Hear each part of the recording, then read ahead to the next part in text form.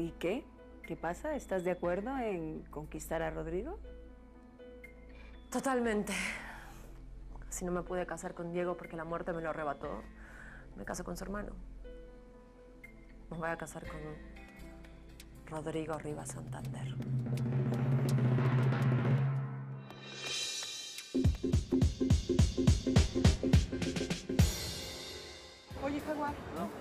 Como que tu amigo se está tardando mucho, ¿no te parece? Tranquila, me acaba de mandar un mensaje y me dice que viene en camino, así que relax. Hermano, ¿y este cuate nos vende las esmeraldas del mercado negro? Mira, tengo tiempo trabajando con él. Si Vanessa nos dice que esas esmeraldas cuestan 10 millones de dólares, el cuate fácilmente puede pedir 20 en el mercado negro. ¿Cómo? 20 millones. Ah, no, no, hermanita. Yo sabía que una bien ibas a hacer, yo te lo juro. Yo sigo así, un total éxito, gracias al robo super nice que hice. No necesitamos de la fortuna del pobre Diego que está muerto para salir de la pobreza. Seremos super mega hiper guau ricos. Lobo. ¿Cómo estás? Qué bueno que viniste. ¿Qué? ¿Esas son las piedras? Sí. Ya tengo comprador. ¿Ya? Ya. Ay, no lo puedo creer, eres un rey, de verdad. No, no. Sí, sí, sí, enséñame.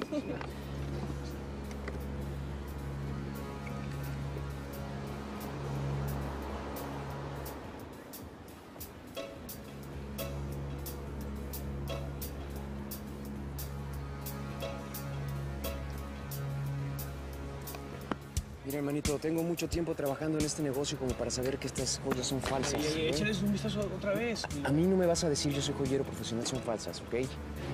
¿De qué se trata? ¿Me, me quieren ver la cara o no? ¿Qué pasa? Tranquilitos.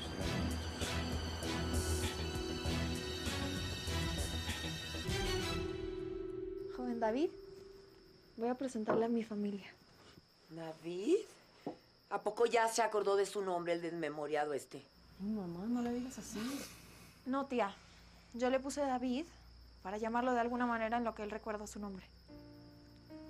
Bueno, el jefe de la familia es mi abuelito Juventino. Es el abuelo más dulce y más cariñoso de todo el mundo. Un placer conocerlo, don Juventino. Y muchas gracias por recibirme aquí, en su hogar. Es tu casa, muchacho. Bien, bienvenido. Gracias. Y aquí también vive mi prima Martita. Ella trabaja en una estética aquí en Tasco que es súper lujosa y muy bonita. Es muy buena estilista. Mucho gusto, Martita. Hola David. Y cuando te crezca el pelo, yo te lo corto. Bueno, ahora mi primo Chuy. Es el hermano de Martita. Es mecánico y es bien buena onda. David, ahí está. Cuenta conmigo para lo que necesites. Muchas gracias, Chuy. Por el tono de tu voz, se nota que eres buena onda, que eres buen chavo. Gracias. Y ahora le voy a presentar a mi tía Eufrasia. Es la mamá de Martita y Chuy. Un placer conocerla, señora. Espero que no sea una molestia para usted. No, pues si ya lo es. A ver si se va curando rapidito de su ceguera y su falta de memoria para que se largue de aquí de una vez por todas. Mire, yo le prometo que apenas me recupere y me mejore del pie, le juro que voy a tratar de... Aquí se va a quedar usted, joven. Perdóneme hasta que pueda valerse por sí mismo. En esta casa somos pobres, pero nos gusta mucho ayudar al prójimo. Eso es todo. No, pues ahora peor. Éramos pocos y parió la abuela, ¿qué no?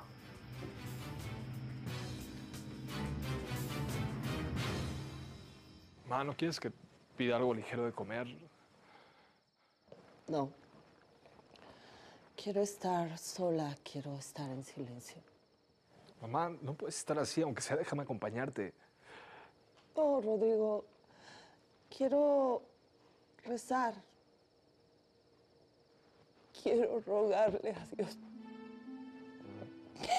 Porque mi hijo esté vivo. Mamá, él lo está. Yo sé, algo me lo dice dentro de mí que está vivo. Él es. Es tan fuerte, tan lleno de vida, que me resigno a pensar que está muerto, mamá. Si alguien debe morirse, soy yo, que soy un. No. Sí, soy un inútil. No. No, siempre, es la verdad. No. Sí. Y si alguien debe haberse muerto en esa avioneta, soy yo. No, no. Ninguno de mis hijos merece morir. No vuelvas a decir eso, por favor. Esto es una trampa, se van a ir conmigo, ¿me entendieron? Ay, o sea, como falsas. Amador fue capaz de engañarme poniendo en su caja fuerte esmeraldas falsas. No lo puedo creer, de verdad. Ahorita le voy a A llamar ver, ya, no lo cállate, hermana, por favor. De mí no se van a burlar, es cumples estúpidos, ¿ok? Tranquilo, tranquilo, Lobo, tranquilo, por Dios. ¿Tú te crees que, que esta niña con esta cara, por Dios, con esta cara de tarada, vas a ver algo de A ver, no esmeraldas? soy tarada. No, hermana, si eres tarada, discúlpame. Bueno, sí soy tarada. Pero es que de verdad, o sea, sorry for you, my darling. De verdad, yo no te haría perder tu valioso tiempo mostrándote Cállate. esmeraldas, no. Cá- cállate, cállate ya. Por esta vez se las voy a pasar, ¿ok? Se las voy a pasar, pero casi no la cuentan. Y no me vuelvas a hacer esto, ¿entendiste? No, no me lo vuelvas a hacer. No, no, no, no, no, no lo puedo creer, no. Hermanita, puedes ser tan estúpida, ¿eh? ¿Es verdad que eres tan estúpida? ¿Qué? Que casi nos matan, ¿no te das cuenta? Sí, pero yo que iba a saber que eran falsas. O sea, Amador me juraba que eran verdaderas. Además, las tenía guardadas en su caja fuerte de la habitación. O sea, ¡qué oso! Amador perdió el fashion. ¡Ay, no, no!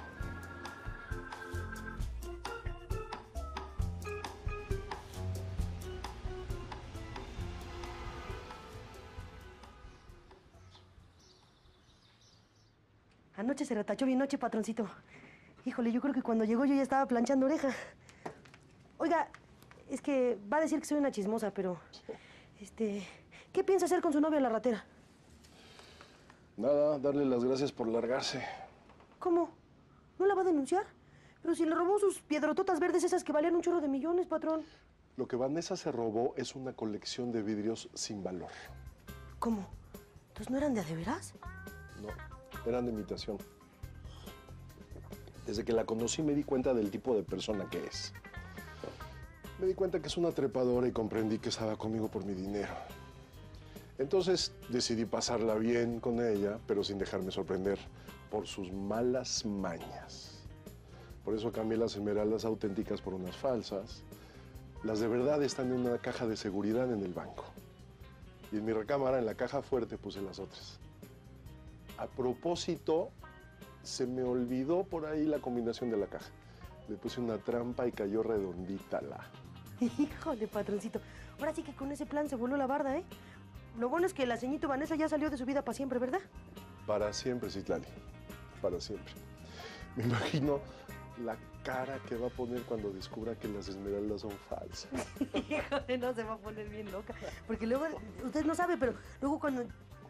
Citlali. Ay, dispénseme, patroncito, pero pues es que me sentí como en confianza. Si eso está bien listo, ¿eh, Ah. patroncito? Disculpe.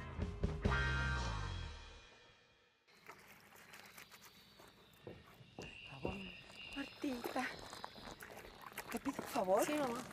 Pon toda la ropa con harto jabón, para que al rato al olvido se vaya al río a lavarla y a tallarla muy bien. Sí, mamá.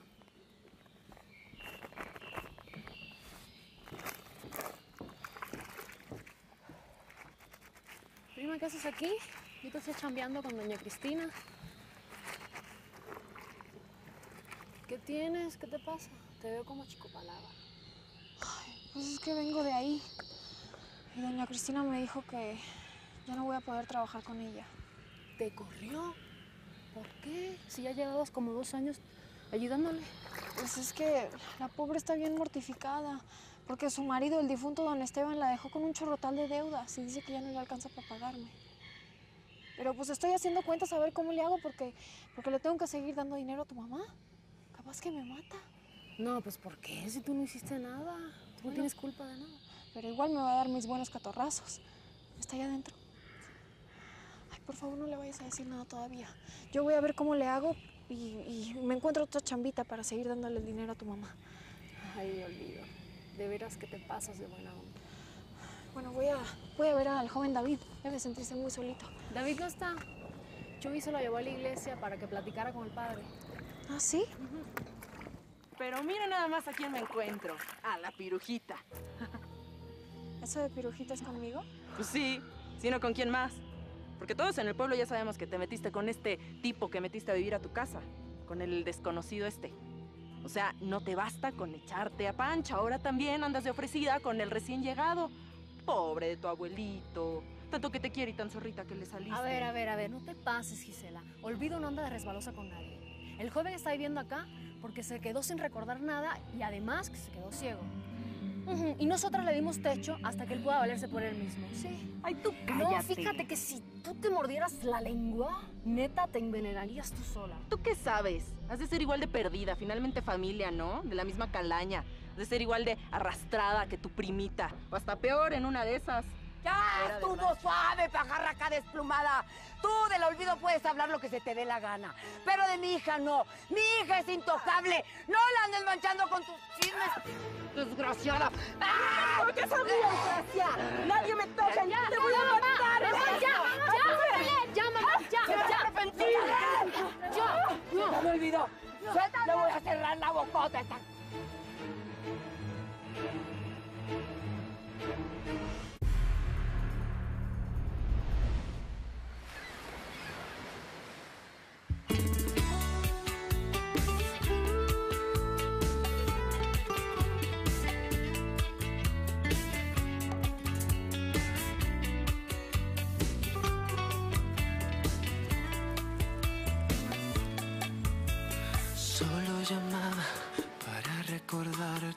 que sigo esperando por ti, que necesitaba oír tu voz para sentirme vivir en mi presente, en el centro de mi corazón,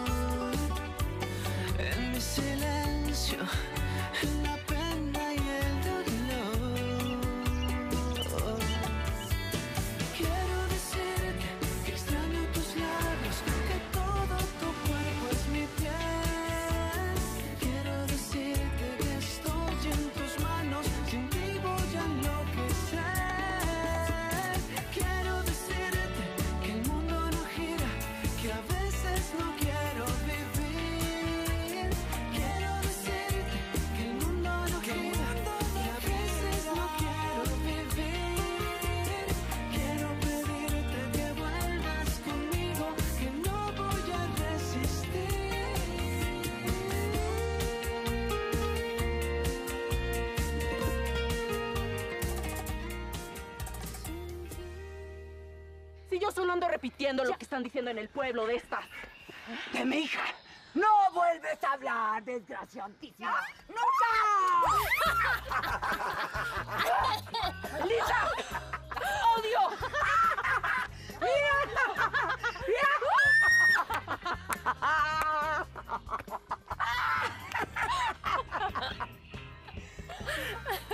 Olvidito, ¿viste? ¿Viste lo que provocaste? Por traer al ciego a la casa. ¿Eh? Ahora todos piensan que mi hija es igual de ofrecida que tú. ¡Órale, pa'l río! ¡A lavar la ropa! Y me la deja bien limpiecita. ¡Ándale, escuincla! No le hables así, mamá. ¿Qué culpa tiene ella de los rumores de la gente? Que se largue. De una vez por todas. ¡Al río a lavar! ¡Con la piedra! ¡Órale!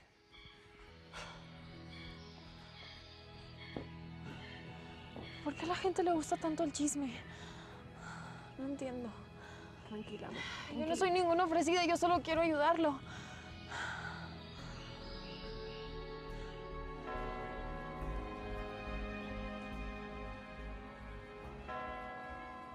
Qué bueno que Chuy te trajo a la casa de Dios, hijo. Ayer cuando pasé a verte estabas dormido. Padre, necesito de usted. Mi situación es desesperante. No recuerdo nada, ni siquiera mi nombre. Para colmo, estoy ciego. Tranquilo, hijo, tranquilo. Dios no te abandona. Ya me contó Chuy que Olvido te puso por nombre David mientras recuerdas el tuyo propio. Sí. Olvido ha sido muy buena conmigo, padre. De no ser por ella estaría muerto o tirado en medio de un monte. Olvido es un alma de Dios, hijo. Así es, padre. Es un alma de Dios. Y ya no quiero seguir siendo una carga para su familia y para ella. Dentro de mis limitaciones como ciego, quiero hacer algo. Quiero trabajar, padre. No sé, buscar un trabajo que dentro de mis condiciones yo, yo pueda ganarme el pan que me llevo a la boca. Déjame pensar. Déjame pensar qué puedes hacer para que no estés de brazos cruzados. Padre, necesito recordar. Necesito saber quién soy, de dónde vengo. Necesito conocer mi pasado y volver con los míos.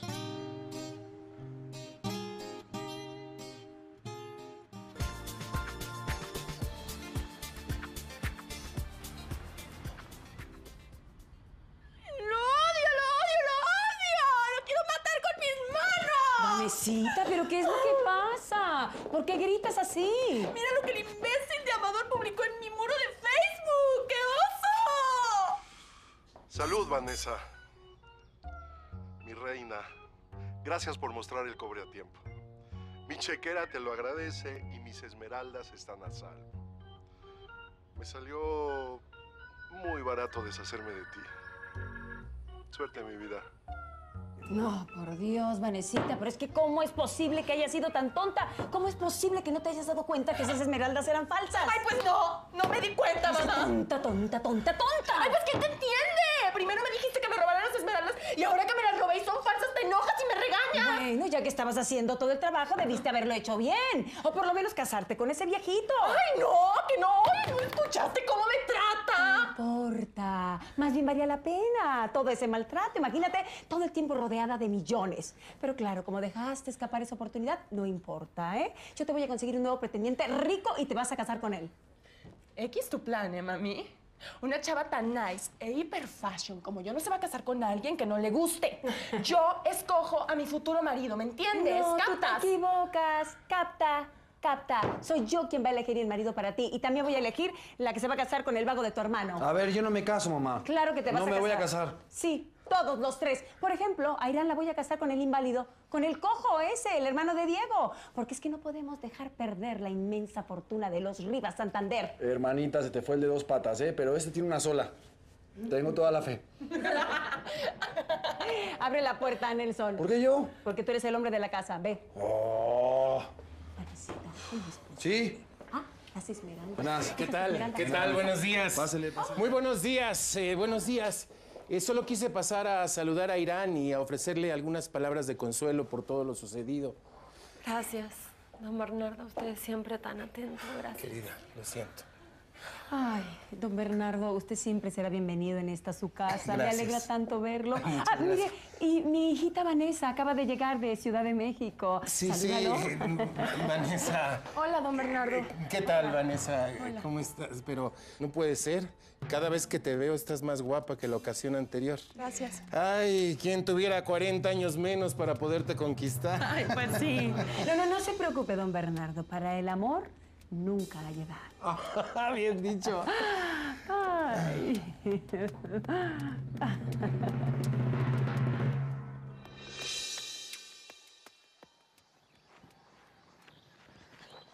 Hola, doña Chonita. ¿Cómo está?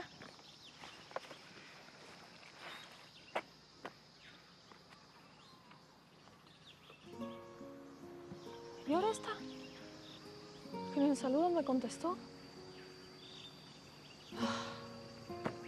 Segurito es por ese chisme tan feo que andan diciendo de David y de mí. Olvido. ¡Ey! Mira con quién estoy. Vine con David. Aquí, aquí, aquí, aquí. Aquí, aquí, aquí. No lo quise dejar en la casa para que mi mamá no lo esté molestando. Bien. Hola, joven. ¿Cómo lo trató el padre Filemón? Muy bien, es una persona muy amable. Sí. Bueno, pues yo los dejo que me tengo que jalar para el taller. Y quiero hablar algo contigo. Me quiero ir para Acapulco. Pero después lo platicamos. ¿Cómo? No, no, me daría harta tristeza que te fueras. Bueno, Después lo hablamos, ¿no? pero si es tu decisión, yo te apoyo. David, que estés bien, ¿eh? Los dejo. gracias. Gracias por todo. Bueno, véngase para acá porque me está poniendo muy nerviosa. Estoy lavando. ¿Me quiere acompañar hasta que termine?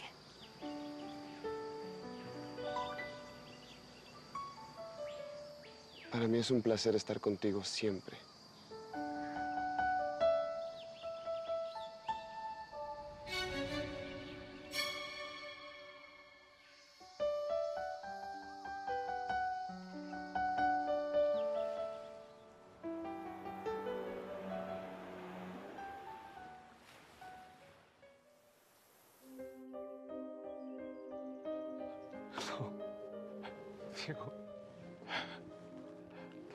Estar muerto, ¿no? Mi mamá y yo te necesitamos y.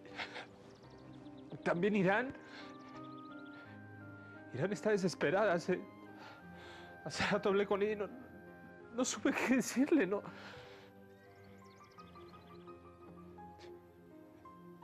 No sé. eh, Si estás muerto también.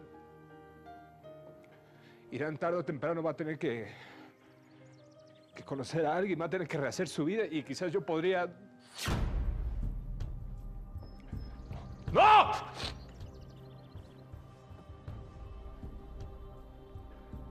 Yo no puedo ver a Irán, no puedo ver a Irán como una mujer. Ella jamás va a poder ser mi mujer.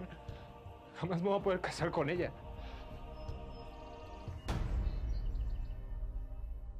Pues muchísimas gracias por todo. No sabe, Angustias, el placer que me da verla. Por favor, despídame de la pobre de Irán, ¿sí? Claro que sí. No, no, no. La pobrecita está destrozada. Está ahí en su habitación llorando. Lo sé. Ay, bueno. Hasta pronto. Ah, despídame también de su bella hija Vanessa, ¿sí? Claro que sí, lo haré. Hasta luego. Hasta luego, don Bernardo.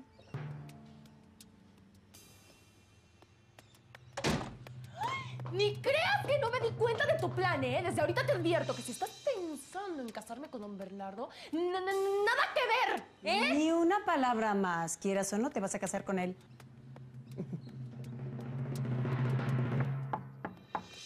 Adelante. Mamá, ¿qué haces vestida de negro? He decidido empezar a resignarme. Tu hermano está... Mi hijo está muerto. Mamá, Diego no está muerto. Falta todavía que encuentre la avioneta, falta que encuentre su cuerpo. O sea, no puedes perder las esperanzas. No, no quiero hacerme ilusiones. No voy a permitir que por segunda vez me vengan a decir que mi hijo está muerto. ¿Cuánto más tengo que sufrir, Rodrigo? Mamá, no puedes dejar vencerte por la duda. ¿Te das cuenta que ni siquiera vamos a tener una tumba donde rezarle? Un, un lugar a donde llevarle flores. Todo esto ha sido demasiado duro, demasiado injusto, demasiado cruel. Yo sé que Diego está vivo. Lo siento. No.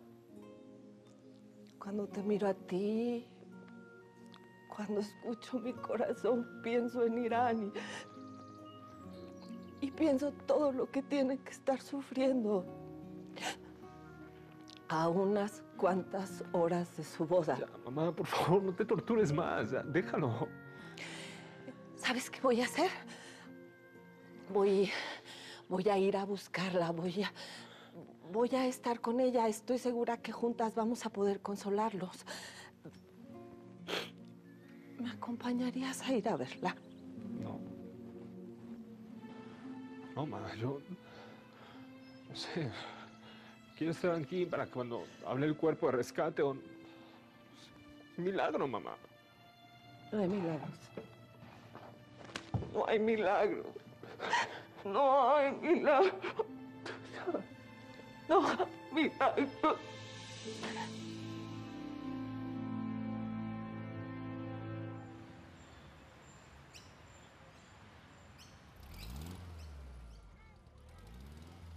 Carnal, qué bueno que te encuentro. ¡Ey! ¿Qué hubo, carnalito? ¿Cómo estás, eh? Te estaba buscando. Quería preguntarte a ver si conoces a alguien en Acapulco que me puede echar la mano para irme allá. Lo que pasa es que me quiero ir de aquí. Nada, necesito crecer, tener más dinero y... Y aquí no hay posibilidades de nada. ¿Tú conoces a alguien en Acapulco que me puede echar la mano? ¿Qué? ¿Qué te pasa? ¿Estás con la cabeza en otro lado? Sí, sí, perdón, estoy, estoy pensando en otras cosas. Estás en otro planeta. Sí. Eh, ¿Qué pasa? Nada, nada, estaba pensando en... Pues el, el tipo este, ya sabes, el que tu prima bajó del cerro.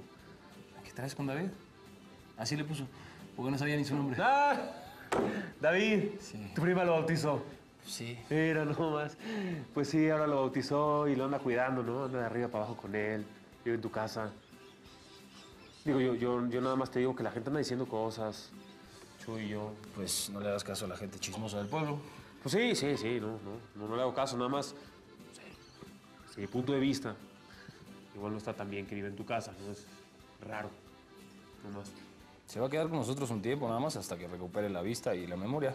Eso sucederá pronto. Sí, ¿eh? bueno, ya te voy a decir la verdad. Chuy, somos amigos, ¿no? Sí. Y tú sabes que quiero a, a, a Olvido. Tú sabes que la. Pues que la amo, ¿no?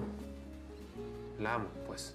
Y, y- y me preocupa, la verdad, que, que, pues este tal David, el, el ciego este, pues, se, se enamore de ella. Y a lo mejor que, pues. Pues ella se Ya, no de él también. Claro que eso no va a pasar. Pero, ¿Cómo sabes? Y, y ¿sabes qué es lo peor, Chuy? Así nada más se me ocurre. ¿Qué tal que recupera la memoria y se la lleva a otro lugar, no sé, a otro país? O, o no sé, pues yo, yo qué sé. ¿Y sabes qué es lo peor, Chuy? Que si eso pasa, yo no voy a volver a ver a Olvido nunca. Nunca.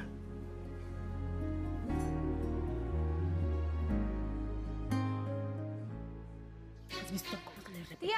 Llámale la atención. Ya creer toda que la ropa allá afuera, quedó bien. Luego te veo, órale. Doña Chonita. Por tu culpa el nombre de nuestra familia ya está en todo el pueblo. La vecina me dijo que te vio haciendo cochinadas en el río con el maldito ciego. No, no, doña Chonita está inventando, eso no es cierto.